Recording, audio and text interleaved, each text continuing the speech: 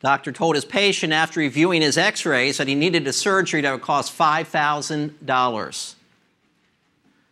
The patient was rather shocked and said, But I can only come up with 500. What can be done? The doctor said, Well, for $500, I could just touch up your x rays.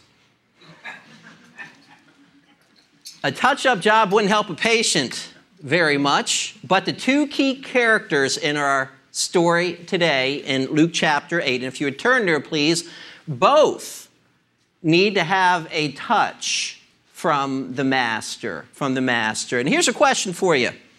How do you get in touch with Jesus concerning your most pressing needs? In other words, when you have something that is heavy on your heart, maybe you've got something you haven't been able to overcome in your Christian life. There's some uncleanness in you. And every time you want to have victory over it, it just seems to get the best of you. How do you get in touch with Jesus in order to overcome that thing? Whatever it might be, how do we connect with Him? Luke chapter 8, beginning in verse 40. Let me read you our text. So it was, when Jesus returned, that the multitude welcomed him for they were all waiting for him. And behold, there came a man named Jairus, and he was a ruler of the synagogue, and he fell down at Jesus' feet and begged him to come to his house. For he had an only daughter, about 12 years of age, and she was dying. But as he went, the multitudes thronged him.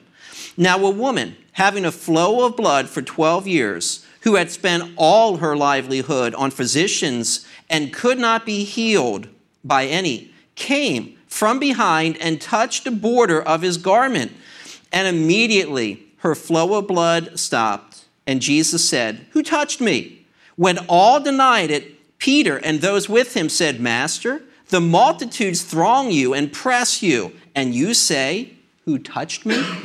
But Jesus said, Somebody touched me, for I perceive power going out from me. Now, when the woman saw that she was not hidden, she came trembling and falling down before him. She declared to him in the presence of all the people the reason she had touched him and how she was healed immediately. And he said to her, Daughter, be of good cheer. Your faith has made you well. Go in peace. While he was still speaking, someone came from the ruler of the synagogue's house, saying to him, Your daughter is dead. Do not trouble the teacher. But when Jesus heard it, he answered him, saying, Do not be afraid, only believe, and she will be made well. When he came into the house, he permitted no one to go in except Peter, James, and John, and the father and mother of the girl. Now all wept and mourned for her, but he said, Do not weep. She is not dead, but sleeping. And they ridiculed him, knowing that she was dead. But he put them all outside, took her by the hand, and called, saying, Little girl, arise. Then her spirit returned, and she arose immediately. And he commanded that she be given something to eat. And her parents were astonished, but he charged them to tell no one what had happened. Let's pray. Father, I just thank you today because there are times we need just a touch from your hand. We need a healing. We need a financial provision. We need the character of conviction just not to submit to the things we know we shouldn't submit to or follow the people we know that would just cause us harm spiritually. Father, I pray that today this account would become alive that it would speak to each and every heart in a very personal way. I ask in Jesus' name. Amen. In verse 40, Jesus returns to the western shore of the Sea of Galilee where a multitude welcomes him. Well, that's quite a contrast, is it not? Because he had just left the Gadarenes after casting the demons out of that man, from our account, or Matthew's account speak about the two men. And what had happened? The, the Demons entered into the swine, they ran over the embankment, the people lost their livelihood, and they said, Hey, Jesus, could you just leave town? So this is quite a contrast. So as he steps onto the land, there is a man by the name of Jairus. He is a ruler of the synagogue. He would be the presiding elder over the worship team there in the synagogue, a very important individual. But he humbles himself. And notice our text says in verse 41 and begged. He kept on begging that Jesus would go to his house. Wow. He's practicing humility at this point because he has a need. What is that need? Verse 42 informs us. For he had an only daughter, about 12 years of age, and she was dying. Mark elaborates upon this. Jairus also said, Come and lay your hands on her that she may be healed, and she will live. Jairus had asked that the Lord Jesus would come to his house, touch his daughter, and make her well.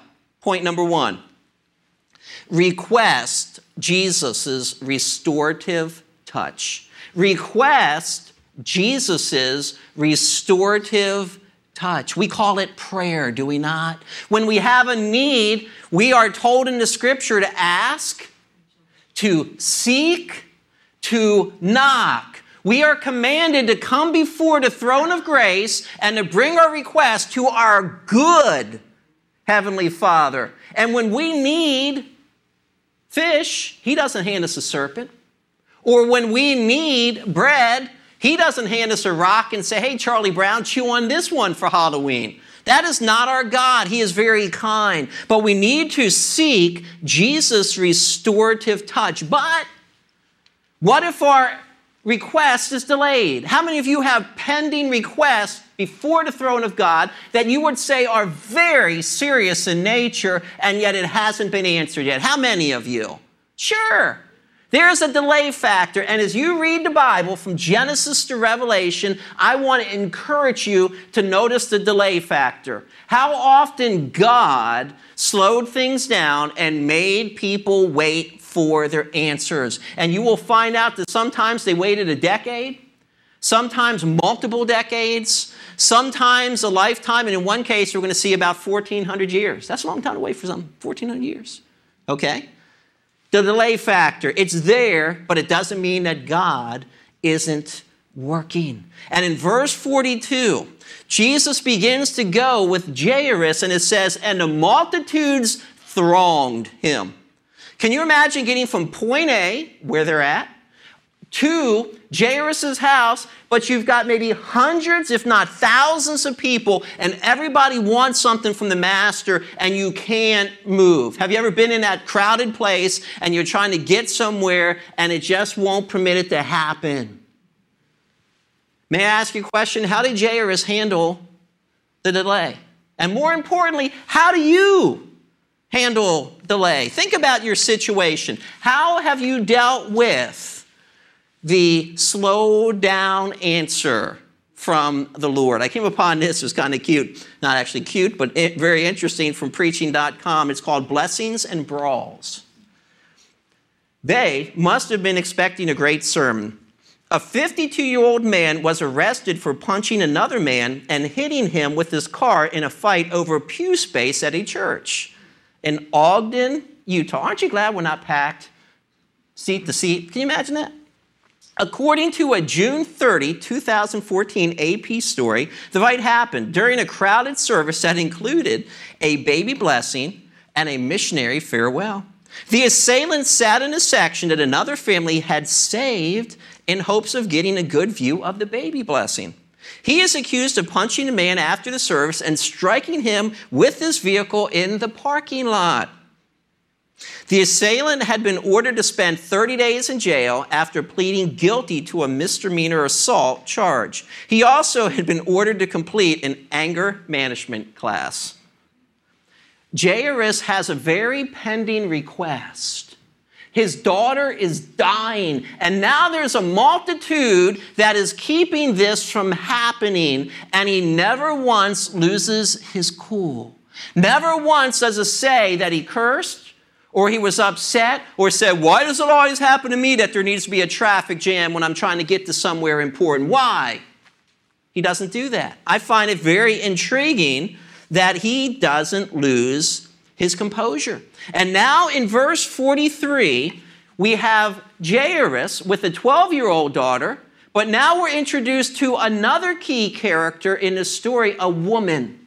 And this woman has had serious troubles for 12 years. And unlike Jairus, who was probably wealthy, this woman we know is busted. Why is she broke? Because she had a medical condition, and as a result of that condition, had gone to doctor after doctor after doctor, and nothing seemed to help. 12 years. 12 years. Not only that, but she would have been considered unclean.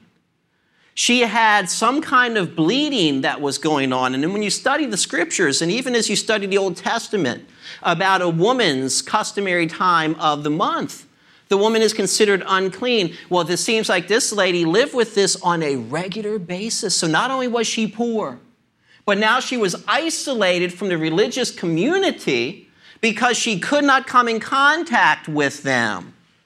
Do you think she's down and out at this point? But where does she turn to? Where does she go when she needs to get a healing? She flocks to the Lord. And notice this that although Jairus understood the importance of touch, remember Mark 5 23, that's why he wants Jesus to come and touch his daughter. This woman touches after she sneaks up on Jesus from behind the hem of his garment, and immediately she's made well. No delay, no built in time factor. Immediately she is made well. And then Jesus asks something that I find very interesting in verse 45 Who touched me? Multitudes of people around him. Everybody probably bumping shoulders with him in one way, shape, or form. And he asks a question. And whenever God asks a question, you know this it's not because he doesn't know the answer. He is asking the question because he's trying to draw something out. When God says, Hey, Adam, where are you? God knew that the idiot was hiding out, okay? So just think about this for a minute. Jesus asked a question, you got to go, Why? It's a little disappointing because then you have Peter and the others who are going, Lord, why are you asking that question? Don't you see all the people? Isn't Jesus the one who knows how many hairs are on all of our heads?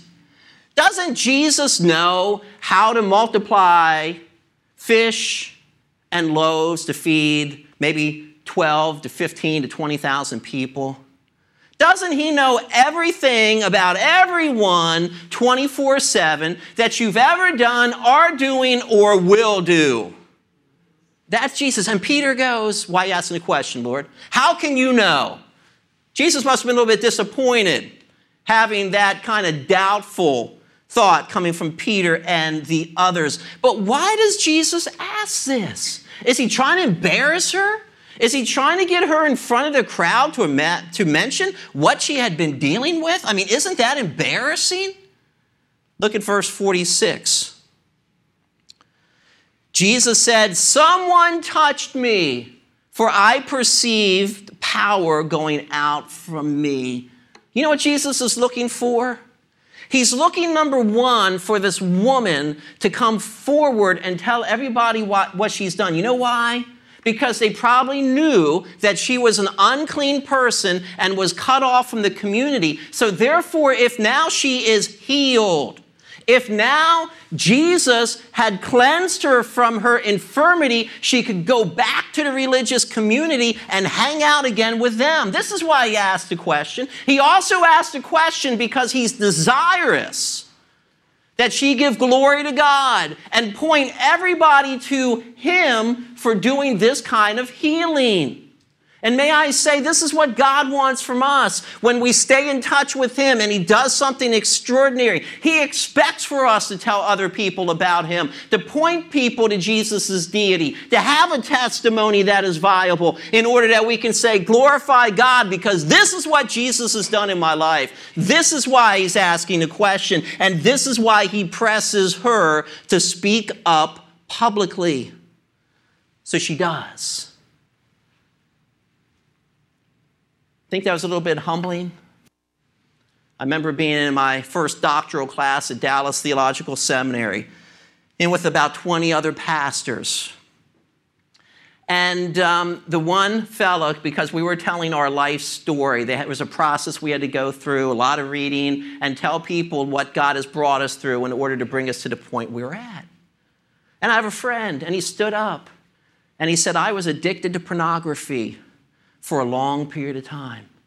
Whoa. It's a man in ministry. This is an individual I greatly respected, but he was basically now somebody that's had victory over his addiction and now was having a tremendous testimony. But just the way he shared that, I go, would I ever have shared that with everybody? Would I ever let everybody in the whole room know, many of whom that I don't even know this, but the humility. See, God resists the proud, my friends, and He knows your situation. Don't be sitting here thinking for a minute, He's not watching you 24 7. Remember what Hagar said in Genesis 16 Behold, thou God seest me. Do we really think he doesn't know what we're clicking on the internet? Do we really think he doesn't know who we're talking to on the phone? Do we really think he doesn't know when we sneak off and we do something we know no one sees us? Yes. There is one who sees you 24 7. We need to come before him in humility because he already knows us. He's looking for that kind of transparency, that kind of humility, because he resists the proud who walk around with the Pharisaical look on, I'm just better than you. My family is better than your family, and I'm just better than you, period. Blessed are the poor in spirit. The individual who recognizes that he or she is a wretch. The individual who can come out and say, This is a faithful saying and worthy of all acceptance that Christ Jesus came into the world to save sinners, of whom I am chief.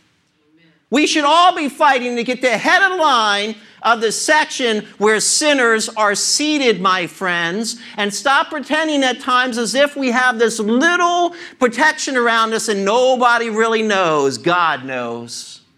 God knows. And in verse 47, now when the woman saw that she was not hidden, boy, wouldn't that do us wonders? Wouldn't that be so good if we would live in light of God seeing us 24 7? To know that Jesus could pick her out of the mass of people even when she touched him from behind? She came trembling and falling down before him. She declared to him, but notice this in the presence of all the people, the reason she had touched him and how she was healed immediately. Wow. There was no delay. She said, I came in contact with you. And the moment that I touched you, something came over me, and I am now healed. What is it that won the day? I'll tell you what it is it's faith. It's faith. 1 John chapter 5 says, And this is the victory that has overcome the world, our faith. Do we really believe that we have a God in heaven and Jesus Christ who is stationed at the right hand, who is ever living to pray for us? Do we believe that? Do we avail ourselves of the one who is in heaven through the Son in order to get in touch with him when there's something that is bigger than us, that is making us unclean? that is separating us from God and others, do we come and say, God, I know you hear me. Heal me. And God might point out your sin to you and say, now it's time to confess that. That's how you get in touch with me. If we confess our sin, He is faithful and just to forgive us our sin and cleanse us from all unrighteousness. For the scripture reading today, I read in 1 John chapter 5 about the sin leading to death. And I think today we, we somehow have this concept that we can go out and we can do whatever and God will never strike us when we fornicate, or God will never strike us when we lie, or God will never strike us when we watch things we shouldn't see. Somehow we have this attitude at times that God would never care enough about me to step down and to say, I want fellowship with you. You know better than that. So now I'm taking you home.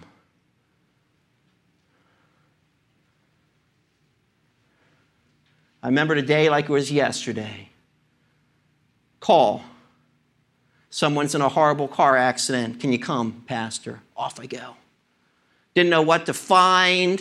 When we got to the hospital, by by the grace of God, that person was kept alive.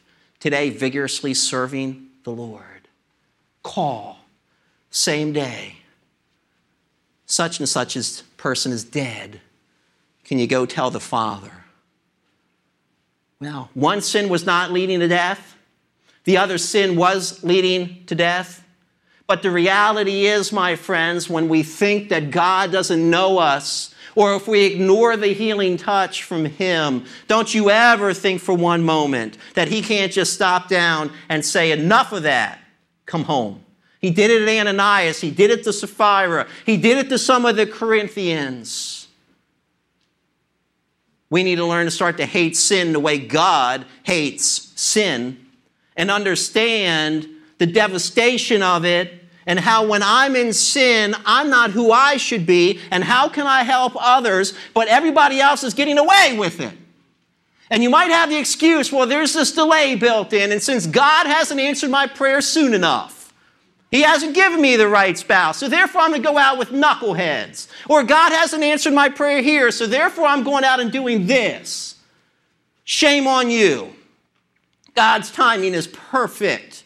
And God knows what you need, and God knows when you need it, and God says, You just keep focused on me, and I'll take care of you. We have this thought today that the world has something to offer us, my friends. We look into Matthew chapter 6, and Jesus talks about the Gentiles who are always seeking after the things of the world. And Jesus says, Don't you be like them. What more do we need, my friend, than food on our plate, clothes on our back, a roof over our heads? But we're always running around as if we're lacking something. God makes you rich. And the things He gives to us, 1 Timothy 6:17 are richly to be enjoyed. But I pity you. I pity you. If you think you're missing out on something that the world has to offer, I pity you. When you see the Christians around you and they're out sleeping around and they're out doing everything the unsaved world is doing, and you go, they look like they're having so much fun. I would have you all come to my study when we sit down and talk about the venereal disease. I should have you sit in my study when people are in guilt. I should have you sit in my study when later on, when that person is married and they're not functioning properly sexually because they've had all this gross activity in their lives. You should be in my study and hear these things. We forget the end game. And if you think that's bad, then how about standing before the Lord one day and looking Him in the eye and telling Him how you have lived? And then maybe he shows you those string of people who were looking up to you, but he could not use you because you wanted to be like everybody else because you were missing out. She understands what's going on. She touches, she comes clean, and I love the response of Jesus. Only here and only once is it recorded in the scripture that he looks and he says, Daughter. He knew what she had been through for 12 years. He understood her pain. He understood her poverty. He understood what it was like to be separated from all the community. So, in a very affectionate way, Jesus looks and says, Daughter. You sense family here, that he cares? Do you sense that he wants her now to go out and give a testimony because of what has occurred in her life. And he says, Daughter, be of good cheer. One Greek word here used eight times in the New Testament, seven out of the eight by our Lord Jesus. It means be courageous. Be of good cheer. And why should we be of good cheer even when our world is falling apart? And I don't know, even sometimes I'm watching news, like, oh, I'm watching this. It's only getting worse. More problems, more places than ever before, Jesus said, These things I have spoken unto you, that in me, in the person of Christ, you might have peace. In this world, you're going to have pressure, tribulation, but what? Be of good cheer. Do you hear that? Same word used here. Be of good cheer, for I have overcome the world. We are overcomers in Christ, my friends. That's what we're told in 1 John 5. We are to live victorious because of who we are in Christ. Why are we walking around all the time, dragging our knuckles, heads down, as if we're some kind of defeated person? We don't fight for victory, but from victory. Thanks be to God who gives us the victory through the Lord Jesus Christ. What more do you want? A relationship with God, eternal life a home in heaven forever with Him. No more pain, no more sorrow. All those that are wicked outside the gates, and we're going to be forever and ever and ever with the Lord. Like this world can offer us something. Pales in comparison. Satan tries to show Jesus all the kingdoms of the world their glory. Somehow I don't think it touched the one who holds eternity in his hands. Get behind me, Satan. Yeah. Daughter, be of good cheer. You know why? Your faith has made you well. Go in peace. Hold on to the promises of God. Don't be concerned about the delay. Even in the delay, God is working to perfect character in you. So you can be what God needs you to be when you need to be it. So he says, Be a good cheer, daughter. I love just how Jesus deals with this situation. So, what do we do? Number one, we request Jesus' restorative touch. Maybe some of you need to bow your heads right now and say, Restore me back to fellowship, God. This is where I've gotten off the beaten path. Restore me. Number two, reach Jesus' saving touch through faith. It's just knowing that He's there, embracing His word, understanding His forgiving heart. He wants to look at you and say, Hey, son, I know you are on the wrong path. Just confess your sin. Get it right, daughter.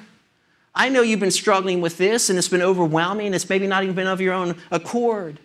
I understand. Do what's right, daughter. It's the heart of our Lord Jesus Christ. And in number three, receive Jesus' personal touch through fearlessness and faith. See, that's how we receive that personal touch. It's through fearlessness and it is also through faith. Because you see, in the process of all of this, Jairus gets the word that his daughter died. The delay. Lord, why are you allowing all the multitude to be here? We needed to get to my house. I needed you to touch her. Now she's dead. He doesn't respond that way. He gets word, and Jesus doesn't even give him time to think. Jesus just simply said, the most repeated statement in all the Bible do not be afraid. I love it. What are we afraid of and why? Do you have a love for God? Has his love filled your life? If so, there's no room for fear. There's no room. 1 John 4:18 There is no fear in love, but perfect love casts out fear because fear involves torment. So stop being afraid. And my friends, I don't know what you're going to, but this is what I want to say. Stop being afraid. You walk with the Almighty, you trust Him, you can contact with Him. He's going to care for you. Don't be like the Gentiles who are always worrying about things they can't control anyhow. God knows you. He knows exactly what you need. He's put the right people in your life. He's put the right people in your path. He has. No mistakes by God with your mother and father. No mistakes by God with the people in the church He's put in your life. No mistakes.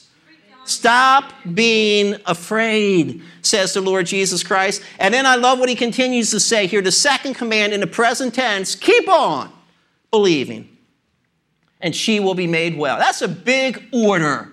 She's dead. But doesn't Jesus bring people back to life? Can't study about any funerals Jesus conducted because when he showed up, they brought the person out of the coffin. Gotta love it, don't you?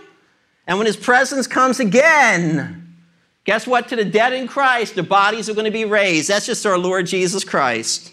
Gotta love our Lord Jesus Christ. Now we got the, the command here only believe, and she will be made well. Let's think about this. Let's think about your delay.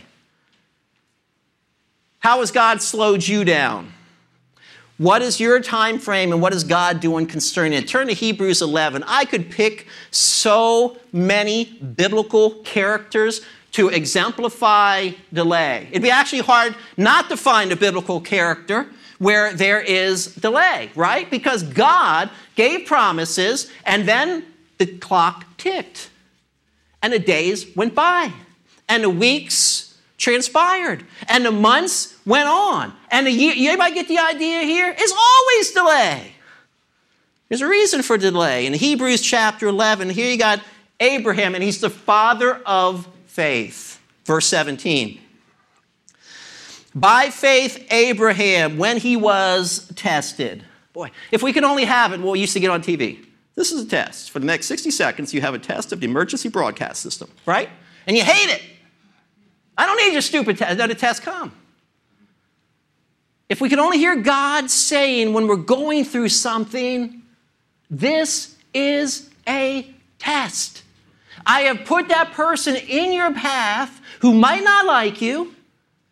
I have put that person in your path that irritates you to no end. I have put that person at your job, on and on and on, because I'm giving you a test from God. He gives Abraham a test. And when he was tested, he offered up Isaac. Hold on a second. You mean you want me to take a knife, God, and plunge it in my son? You don't know how long I had to wait for him? I went my own way, thinks Abraham. My wife came to me and said, Hey, here's my handmaiden, Hagar, marry her. And when Abraham is 86 years old, the father of the multitude, has a son through his now wife, Hagar. But that's not what God had promised to Abraham. He said it would come through Sarah. And all of a sudden, you flip the page from Genesis 16 to Genesis 17, and 13 years have gone by. And God says once again to Abraham, Hey, buddy, feeling kind of frisky. I got plans for you. And sure enough, what does God do? Really kindly answers his prayers, honors his own promises and he has a son in his old age. And as the two of them, in the Hebrew says in Genesis 22, Yakada, together, walking hand in hand together, so that Abraham can take his knife, plunge it into his son, knowing this is the heir, but that only God could bring him back to life, with Abraham believed. My friends, until you understand this, the way to life is death. And until we die to self, until we truly get to that place where we go, it's not about me, it's all about you, your glory and your holiness, and I'm not doing anything that the old man tells me to do because I'm dead to that.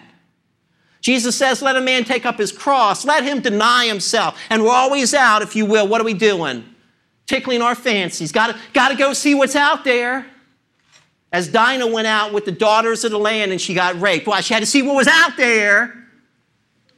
You got to see what's out there. You need to be in church, you need to be in home, and you need to be in your Bible. When you're outside the home, you should be witnessing or walking with Christians and doing things that are productive for the Lord instead of hanging out with moronic people who have no interest in spiritual things. So here he is. He's got his only begotten son.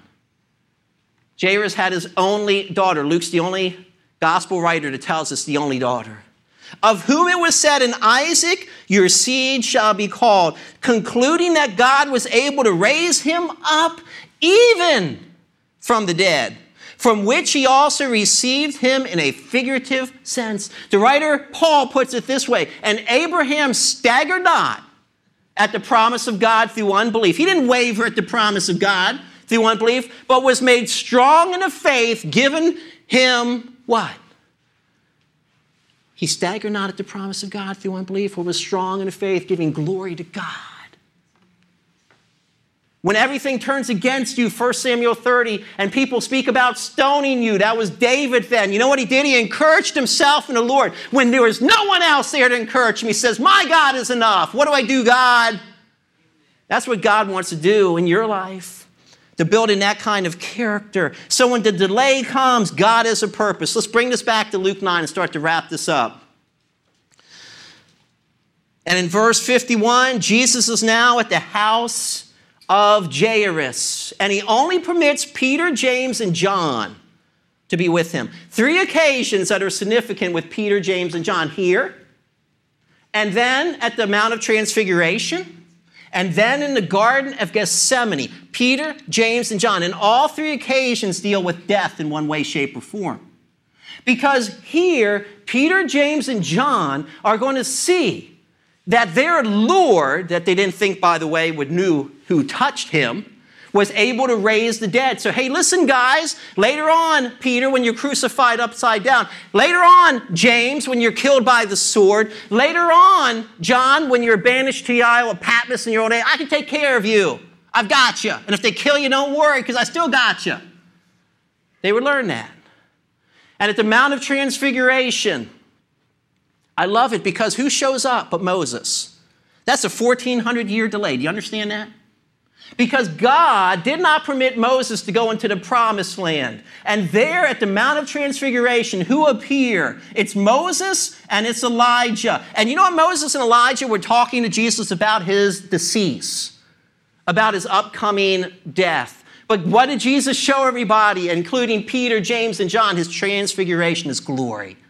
My friends, even when you die, and when the Lord one day comes back and he raises the body, your soul and spirit already with him. He gives you a glorified body. Also pertaining to death, don't fear it. And then finally, at the Garden of Gethsemane, Jesus takes them, prays with them, but they keep falling asleep. But he teaches them, Not my will be done, but yours. And what was God's will for Jesus? Scourging, crucifixion death. Because death is the way to life. Are we all understanding how we need to die to self, my friends? The lesson that God is teaching is key three disciples. And when they're at the house, something strange is going on all this morning. Well, you go, why that's strange? They had to pay, generally speaking, to have different mourners show up. You usually had two flute players, and you also had one professional mourner. How'd you like to be a professional mourner? Weeping your way to prosperity. You show up, you put the tears on at any time. That's what happens. Because when Jesus says, Hey, everybody, the girl's not dead, what did they do? They ridiculed him, they made fun of him. Why? They were just paid to go and play the flute, they were just paid to cry, paid to cry. That's something else. He puts them out. he puts them out. Gotta love it. He doesn't want anybody in the room who's not going to be of faith. He puts them out. And then he just simply says in verse 40, uh, 54, little girl, arise. Her spirit returns. And Jesus wants us to understand she's fully restored. He says, get her something to eat. How do you know when you're well after you've been sick? Seriously? You're ready to eat. She's ready to eat. She's totally restored, like the woman who touched Jesus at the hem of the garment. She is now made well. And the parents, can you imagine? They're astonished. Why aren't we astonished more? Why aren't we at the place where we go back and see the greatness of God and the things He's done? You know why at times? Because we don't request Jesus' restorative touch. We don't get serious enough in our prayer lives to say, God, I've got a problem here that is God sized. Touch me, heal me, Give me the grace I need to get through this. Give me the peace I need to be sustained. Give me the reminder that I'm co crucified with Christ and I don't need to do this anymore. You need a restorative touch. And how do you get to Jesus? It's through faith. It's going in your closet, it's shutting the door. It's understanding that the Almighty hears us and we go to prayer and we pour out our hearts to Him, but we believe that He hears us. Now, this is the confidence that we have in Him that if we ask anything according to His will, He hears us. You got that? Anything. Now, unto Him who is able to do exceedingly, abundantly, above all we ask or think according to power that works in us. Do we put Him in a box? Do we think he can only do little things? Or do we really believe he can do great things? And then finally receive Jesus' personal touch through fearlessness and faith. I am finding it gets more and more difficult being a Christian because of other Christians. Because when we carry convictions, when we do what is right, we have others around us doing what is wrong and putting us down for our convictions. And it's not easy. It takes fearlessness to embrace God and His Word, to lead a holy life. It takes fearlessness to say, I'm not going to hang out with people that are going to pull me down, and I'm not going to compromise myself. It takes fearlessness to be able to stand up to all those around us and say, you know what, in this area, I'm going to lead, and I'm not going to follow anyone. They're going down the wrong path. There's a way that seems right to a man, and the end thereof are the ways of death. So we're cowardly at times. Some of you need to pick it up at home.